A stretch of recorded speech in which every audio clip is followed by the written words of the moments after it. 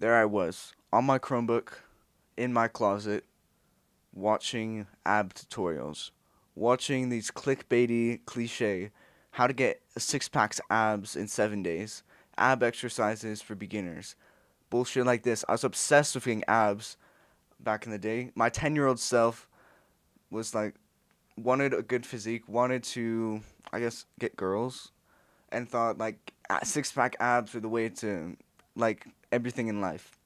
Six pack abs, everything. Yeah, it's very um stereotypical to get six pack abs. And my my um younger self would have loved to see this video, would have loved to know what what it actually took to get abs. So, first off, there's a difference between visual and functional abs. In order for you to get visual abs, you know, we all of us we all have abs. Everybody has abs. There's only one thing, and there's a layer of fat covering them for everybody. If your abs aren't showing, so you everybody has abs. In order to lose fat, you just need to, you know, exercise more, eat less. You know, the fat is basically just excess fuel. So if you put take le- more out of the tank than you put in, it's gonna have to come out. You're gonna lose fat. So that's the way you get six pack abs.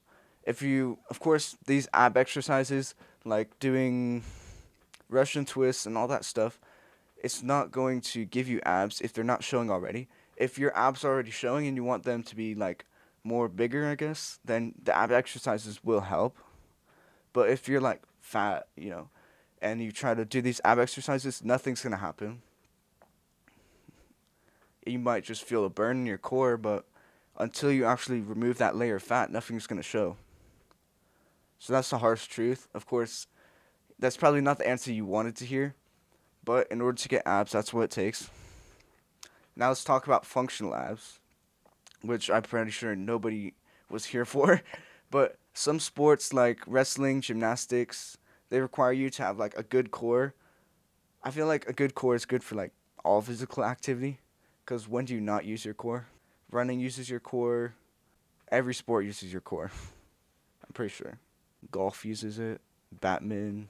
Yeah, so the way you get a functional abs is just doing ab exercises, strengthening that core.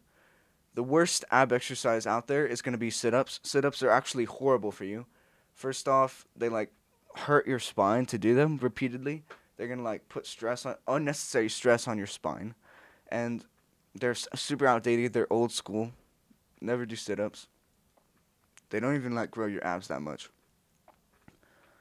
So the way you a good ab exercises are like plank, Russian twists, leg raises, L sit, human flag. Just lay everything but sit ups. I feel like is gonna be a good ab exercise. Um, I want to plug my Discord down below. If you haven't already joined, I've like nobody's in there yet, but it's my only paid product. It's the only thing I'm promoting. So please join, and thank you for watching. And I'll see you guys in my next video.